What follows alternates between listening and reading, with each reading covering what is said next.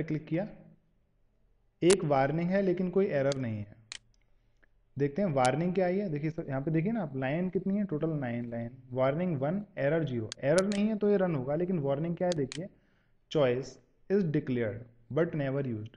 आपने चॉइस को डिक्लेयर तो किया है, लेकिन कहीं पर भी इस्तेमाल नहीं किया है। तो ये एक वार्निंग है। वार्निंग से कोई फ़र्क नहीं होता। आपका प्रोग्राम प्रॉपरली रन होगा। रन करा के देखते हैं। रन कराया। देखिए रन कराया तो ब्लैंक स्क्रीन आ रही है और ब्लैंक स्क्रीन आने का रीज़न क्या है कि हमने सिर्फ़ डिक्लेयर किया है, ना तो कोई प्रिंट एफ़ स्टेटमेंट है। आउटपुट सिर्फ़ किससे आएगा? प्रिंट एफ़ स्टेटमेंट से। प्रिंट एफ़ स्टेटमेंट हम थोड़ी देर में सीखने वाले हैं। बिल्कुल ऐसे ही, जैसे हमने चॉइस डिक्लेयर किया था, वैसे ही हम एक ही लाइन में कई वेरिएबल भी डिक्लेयर कर सकते हैं। जैसे यहाँ पे ही करके देखते हैं। चॉइस की जगह पर सी वन एक सी टू दूसरा और सी थ्री तीसरा। आप कितने भी कर सकते हैं, मैंने तीन किए हैं, आप चार कर सकते हैं, पाँच कर सकते हैं, दो कर सकते हैं, एक ही लाइन में। बस आप कॉमा से सेपरेट करना नहीं भूलिए। कॉमा लगाएँगे तो कंपाइलर को समझ में आएगा कि आपने सी वन टाइप का एक वेरिएबल बनाया है सी सॉरी सी वन नाम से एक वेरिएबल बनाया है सी टू नाम से दूसरा और सी थ्री नाम से तीसरा। जिसका डेटा टाइप क्या है? कैरेक्टर है। अब आप इसको रन कराइए। रन कराने पर एरर नहीं आएगी तो इसका मतलब हमारी डिक्लेरेशन टाइप सही है। यहाँ पर तीन वार्निंग वही आ रही हैं कि C one is declared but never use C two is declared but never use and C three is declared but never use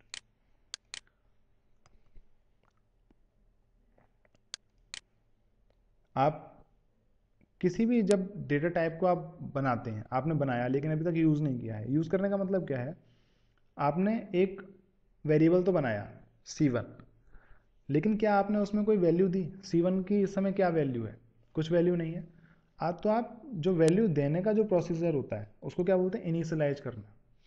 तो जब इनिशलाइज किया जाता है किसी भी वेरिएबल को तो किस तरह से करते हैं? बराबर लगाकर इक्वल का साइन लगाकर उसको इनिशलाइज किया जाता है। कैसे किया? इस स्टेटमेंट में किया है कैरेक्टर टाइप का एक वेरिएबल बनाया, जिसका नाम है सी वन और उसको इमिडिएटली एक वैल्यू दे दी गई, जो क्या है? वाई वैल्यू जब आप कैरेक्टर को देंगे तो याद रखिए सिंगल कोट लगाना ज़रूरी है। अगर आप सिंगल कोट नहीं लगाएँगे तो वैल्यू असाइन नहीं होगी। इसको हम आगे सीखेंगे। बिल्कुल ऐसे ही दूसरी लाइन में, एक ही लाइन में इन्होंने दो वेरिएबल डिक्लेयर किए हैं और उनको वैल्यू इनिस असाइन की है। तो यानी कि डिक्लेरेशन और इनिशलाइजेशन एक ही लाइन में हुआ है। अब बात करते हैं इनपुट आउटपुट इंस्ट्रक्शंस की। सबसे पहले बात करते हैं आउटपुट इंस्ट्रक्शन की। आप आउटपुट कहाँ पर ले सकते हैं? देखिए, जब हम अपने कंप्यूटर की बात कर रहे हैं तो हमारे जो आउटपुट मिलता है, वो हमें स्क्रीन पर मिलता है। हमें आउटपुट लेने के लिए जो फ़ंक्शन इस्तेमाल करना है, वो है प्रिंट एफ़ फ़ंक्शन आप जब प्रिंट एफ़ फ़ंक्शन का इस्तेमाल करेंगे तो वो आपको आउटपुट देगा. यहाँ प्रिंट का मतलब तो आपको समझ में आया कि छापिए यानी प्रिंट कीजिए. एफ़ का मतलब होता है फॉर्मेटेड ये सिर्फ़ एक याद करने का तरीका है. आप प्रिंट एफ़ फ़ंक्शन याद रखिए.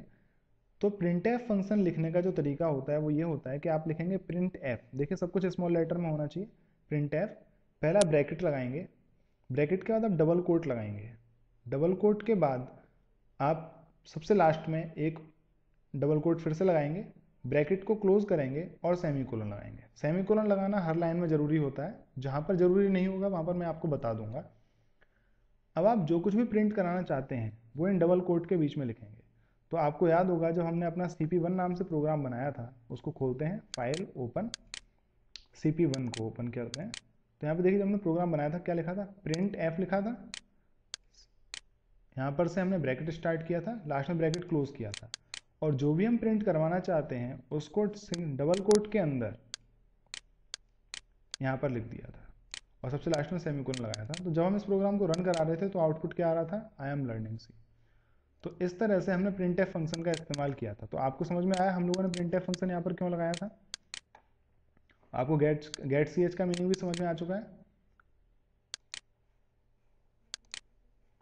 अब देखते हैं। प्रिंट एफ़ को और कैसे इस्तेमाल किया जा सकता है? प्रिंट एफ़ की एक और फॉर्म होती है।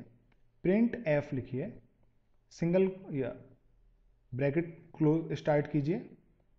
डबल कोट लगाइए, जैसा कि हमेशा लगाते हैं। फिर लिखिए फॉर्मेट स्पेसिफायर अब देखिए फॉर्मेट स्पेसिफायर मैंने अभी भी आप लोगों को सी के लिए बताया था। कैरेक्टर के लिए बताया था। क्या था?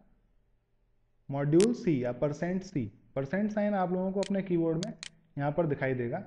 देखिए परसेंट सी।